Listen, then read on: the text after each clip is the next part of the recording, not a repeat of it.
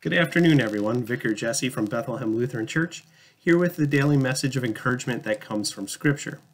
Today, I've spent much of my day doing some reading for my latest seminary class.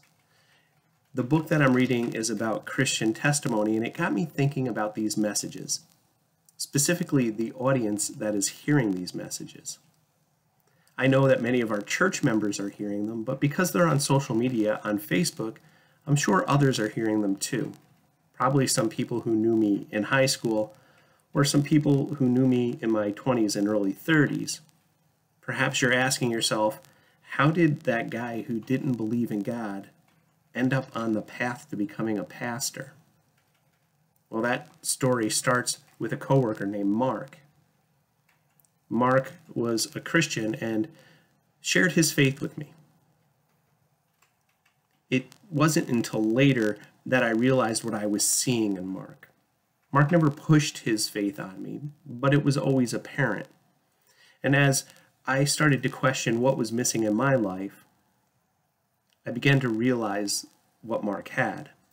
You see, I had all the things that the world tells you you should want. I had a good job, I had a home, two healthy children, and a wonderful wife. But something was missing that something was hope.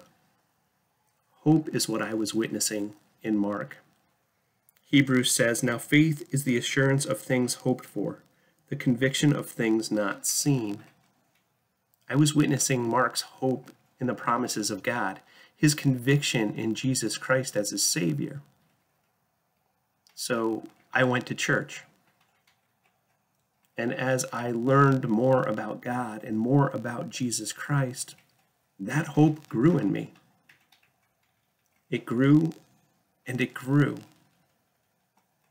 And even though there have been some dark times in my Christian walk, including the suicide of some close family members, I can't imagine having navigated those things without that hope, without that knowledge of Jesus Christ, without the hope in the promise of eternal life during those dark times, I was surrounded by a wonderful church family who also had hope in those convictions and lifted me up. So now I strive to do the same thing to provide hope to those who need it. Now, the old Jesse still lives in me, still have the same insecurities, I still make mistakes, but I do so with the hope of eternal life with the promise of forgiveness. You too can have that hope through faith in Jesus Christ.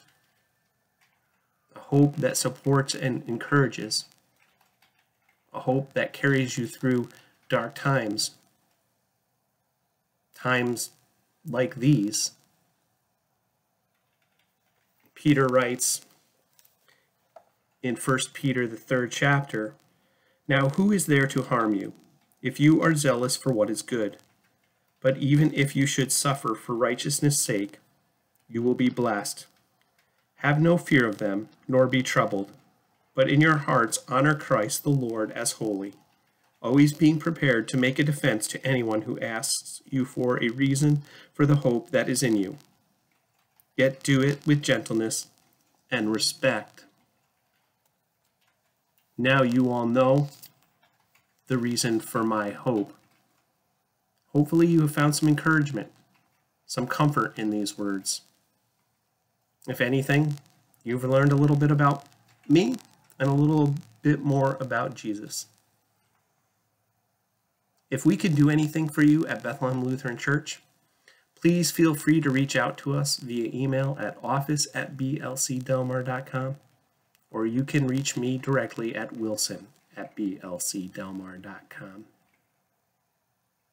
God bless you. Have a wonderful day.